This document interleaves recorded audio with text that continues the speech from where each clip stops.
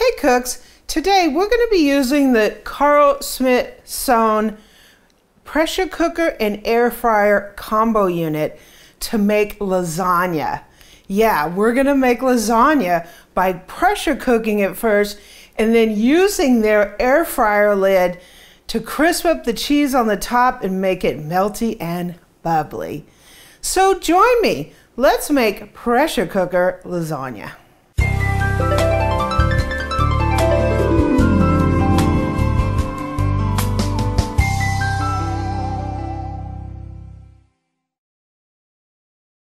So I know you're wondering, how are you going to make a lasagna in a pressure cooker?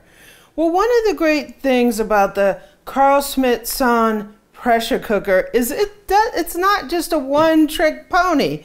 It has a pressure cooker lid, right, that we can use to do the basic cooking of the lasagna. And it results in nice tender noodles and it does a fantastic job.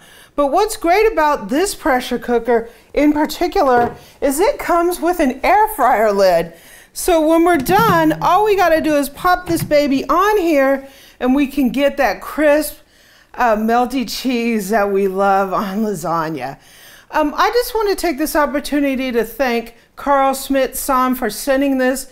I have used it a few times and I'm having a lot of fun with it. Um, it's, it's a unique kind of pressure cooker in that can be both an air fryer. So you can, um, you know, cook french fries in this thing. You can pressure cook a chicken and crisp it off. You can do all kinds of fun things. And with this air fryer lid, you have your heating element there with a fan to give you that crispiness. So thank you once again for sending this. I'll put links down in the description to this cooker. Um, it's a lot of fun. So let's get out our ingredients and start our lasagna. Okay, I have a pound of bulk sausage here, and I'm just using my little meat chopper here to chop it up. This does a great job because it really breaks up the meat and it's way faster and less uh, strain on your arm. Um, you can use any kind of meat you like. You can use ground beef, you can use sausage, you can use uh, ground turkey, ground chicken, whatever you like. So we're just going to chop this. One of the reasons I like using this is because it does it really fine. So you don't want big chunks of meat because we have a small springform pan that we're using and so you want it really well chopped up. So let me cook this off and we'll be right back. So I'm gonna put about a half a can of pasta sauce in here. We don't want it super overly moist, so we're just going to put some in here and watch it. Um, one of the things about making lasagna is if it's too uh, liquidy, the sauce, then when you go to cut it, it just, right? How would we know that, Boo? I know that by first hand. Um, so, this looks kind of good.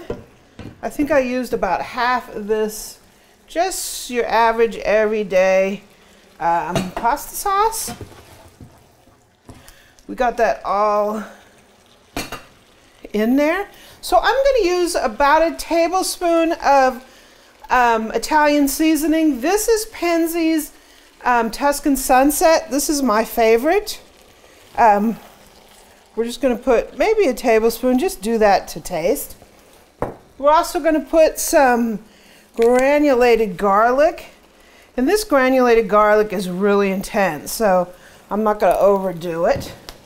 And I'm going to put a little pepper. I'm not putting any salt just because it is a little bit salty for me and I don't want to overdo it.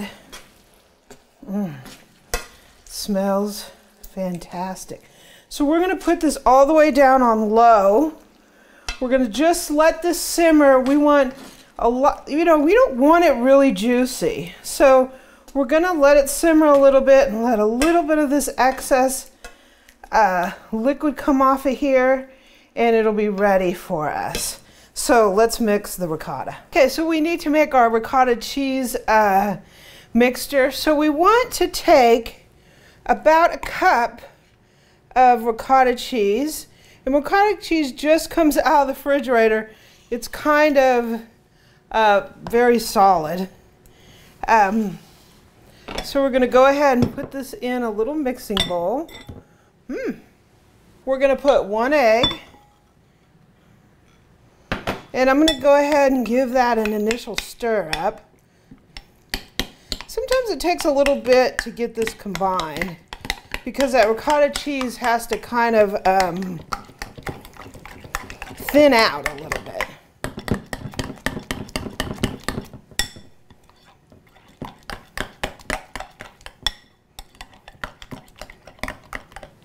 And that's what it'll look like when you get the egg in there. So I'm going to put a little bit of seasoning in here. I'm going to put some granulated garlic. Just do this to your taste. My granulated garlic is very strong, so I kind of put a little less than normal. I'm going to put some pepper. I'm not going to put any salt because I just think the cheeses in here are pretty salty. If you want to salt it, go ahead, right? And we're also going to put maybe a half a cup of mozzarella cheese. You can put Parmesan too, if you like. Mm. So now it's time to assemble the lasagna. Okay, so we have our ricotta, we have our meat mixture, and it's thickened up nicely. This is how you want it. You don't want a lot of extra sauce. We have some oven ready lasagna. That's what they look like. This is simply balanced organic. It's just from Target. And um, we're gonna layer our lasagna. So this is a three inch by six inch springform pan. You wanna get a springform pan that will fit inside the cooker. This will fit in our Carl Schmidt Sohn cooker perfectly.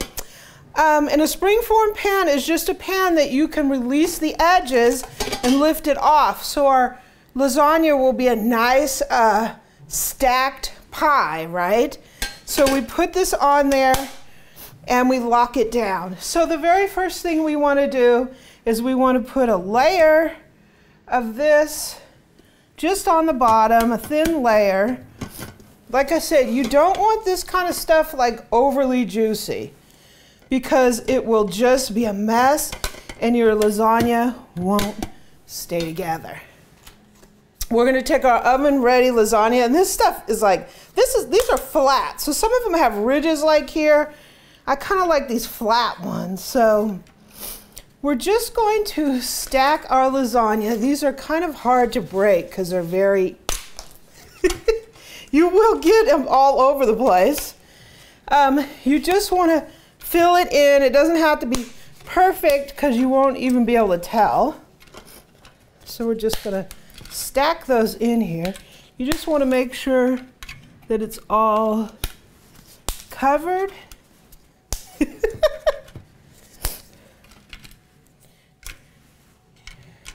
just like that. So we're going to put another layer of the meat here. Spread it out. Mmm, this meat smells really good. We're going to put about half of the cottage cheese mixture. Mm-hmm.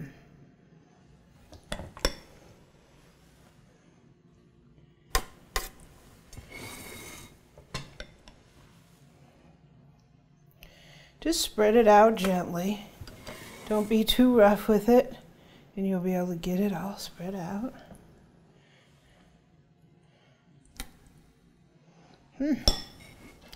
Now, I don't know why, but I just put three little scoops of meat in here. I don't know, maybe it flavors the ricotta cheese. That's just me, I'm weird, right? And we're gonna go ahead and go with the noodles again. This is the only tough part because these noodles are really hard to break. Uh,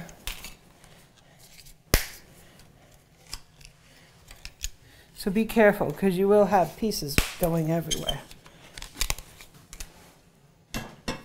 Some meat.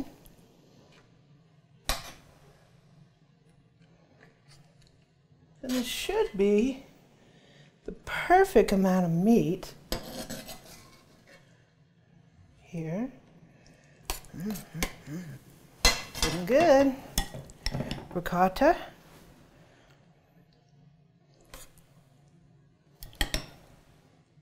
Mm-hmm. One, two. I don't know why I do that. That's just me. You don't need to do that. and noodles. So this is going to be our final layer of noodles.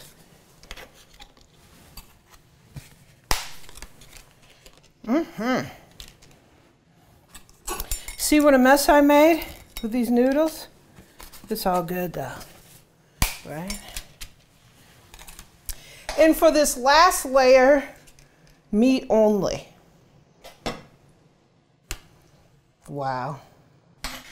It's a small little lasagna, six inch, but with a three inch deep. It's a pretty substantial one. Great for a couple people. You get four really nice slices out of this. So you can make it for two and save two pieces, or you can make it for four serving it up with a side salad and some delicious homemade uh, French bread. So let's get the cooker out. So I have a piece of foil here. We want to secure it nice and tightly on our springform pan here. That's going to keep the moisture from the cooker getting inside the lasagna. That will make it way too liquidy and it'll just fall apart when we try to remove it and cut it. So I have this little rack. It just has little feet on it. We're going to go ahead and put that in there. We don't want the, um, the uh, lasagna sitting right at the bottom, on the bottom of the cooker. We're going to put a cup and a half of water in here. Then we're going to lower our uh, lasagna into the cooker. We're going to put the lid on the cooker. You want the cooker set to sealing. So you have sealing and venting. You want to make sure it's on sealing so it will build pressure. So when you put the uh, lid on, the pressure lid on, the Carl Schmidt-Sohn will automatically recognize that the pressure lid is on. So we're going to set it to pressure Whoops. We're going to set it to pressure cook. We're going to change the time to 25 minutes and we're going to hit on. So the it's going to come up to pressure. It's going to cook for the 25 minutes and then we're going to allow it to do a complete natural release till all the pressure is out of it. So we're not going to be moving it to venting. We're just going to let it sit until all the pressure is out. So we'll be back. Okay, the cooker is done. We did a full natural release on it. So when you hit venting, there's nothing left to vent. We're gonna go ahead and take the lid off. Woo! So we need to get careful getting this out. Um, I'm gonna use these lifters. This allows you to grab this thing. You're gonna have some liquid here on the top. So we want to get this foil off, but we don't want this liquid to get in there. So we're just going to be really careful. It's hot. Do you want a towel? To scoop it up. Nah, I can do this.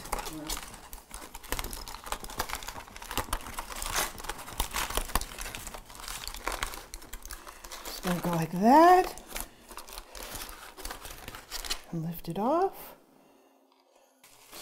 I'm just to take a paper towel and sop up a little bit of this condensation down at the bottom. That's just from all the liquid, the steam inside the cooker. We're to take a little bit more mozzarella cheese. Ooh. Put this on the top. Mm-hmm. Mm-hmm. Yum. You can put some Parmesan if you like. I'm to temporarily take this rack out of here. And I'm to dump the water from in the cooker. Okay, I dumped the water. I'm to go ahead and put this back in here. I'm to put our lasagna back into the cooker. And I'm to get the air fryer lid. So we have our air fryer lid, and that's what's great about Carl Schmidt Sohn uh, combo cooker is we do our pressure cooker. Now we're doing the air frying, and the air frying is to melt this cheese. So there's a little um, connector right here. All we got to do is set this on the machine, and the machine recognizes that the air fryer lid is on. Literally, this is only going to take maybe, I'm going to just put it on five minutes. We're just going to watch it because you don't want to overcook it. This is like a broiler. Since I have it up high on that rack, it's similar to putting it under the broiler. So this is going to melt the cheese, and as soon as that's done, we'll be back. So it's only been in there like maybe three minutes. Um, and we'll take the lid off. Look at this. Woo! Now that is a beauty. Let's get this baby out of here, right? Be careful. You don't want like all your work and kaboom, right? Oh, look at that. I would say that looks pretty glorious. Um, this cooker did an awesome job. So I'm gonna let this sit maybe 10 minutes. I want it to, you know, um, come back together.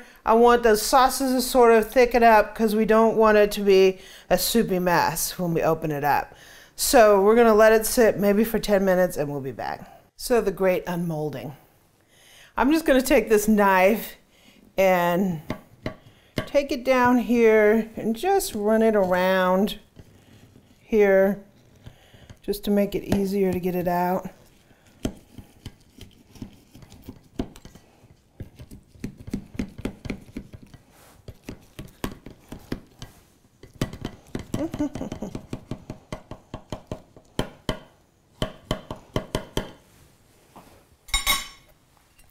We are going to unclip our mold here and lift away. You might have to stretch it a little bit. Ooh, it's still a little warm. Ooh, look at that. It's beautiful. Wow. That is amazing. uh-huh. Lasagna. Right, Boo? Mm-hmm. Does that look good? Mm-hmm. Wow. Okay, so we need to get it off here and onto a platter. Okay, so how I take this off is I just take a spatula and I move it under here, maybe in a couple spots. Hmm. It's not a huge round thing, so you should be able to get it with just a spatula. And it's pretty firm. Ooh. Yeah.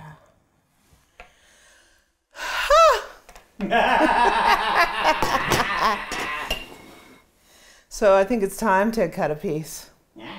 So first on the cooker, the Carl Schmidt Sohn was great. It cooked it perfectly and with the air fryer function on it, it is fantastic. I will leave a link down in the description to this cooker. Um, it's really fun. Second on the recipe, you really need to make sure your lasagna is firm. If you use too much sauce, it's just gonna all over the place, right? You really need it nice and firm so it stands up and you're able to cut it. So let's do that. So we're just gonna cut this into four pieces.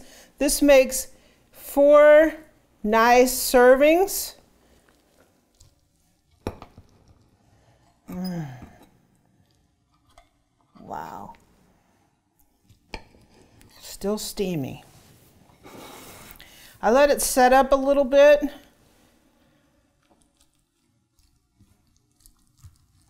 Ooh, yeah.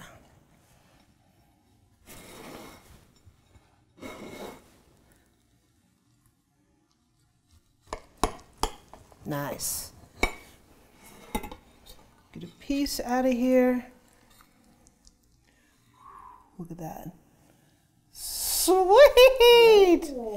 Now that is lasagna, baby. Look at that. Still standing up. Nice. The key to that is not having all that sauce in there. So here's our piece. Looks fantastic, right? So Eric, you want to take a taste? Maybe. Of course I can't because I can't have the cheese. So how do you like it, Boo? First of all, I just want to thank Amy for uh, making this for me. Ooh, yeah. The firmness is really nice. Keeps it together.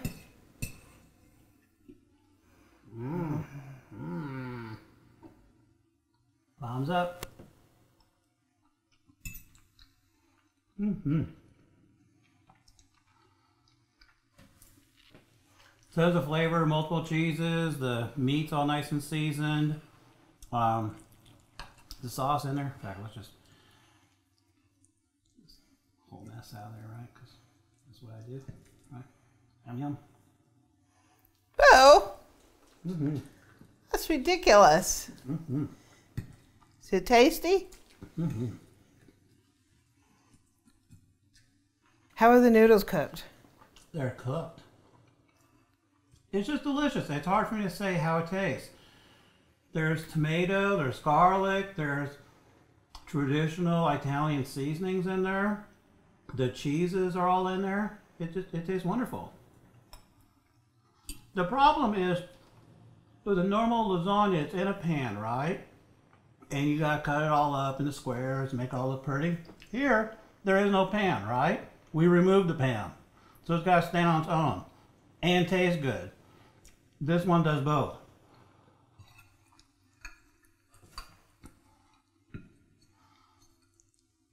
Yum yum. Bye, Boo. mm-hmm. so, cooks, thanks for joining me. We made this fantastic pressure cooker lasagna. A lot of people ask me, can you make lasagna in a pressure cooker? The answer is yes. In the Carl Schmidt Sohn uh, pressure cooker and air fryer, it's a combo cooker. Did a fantastic job. I'll leave links down in the description.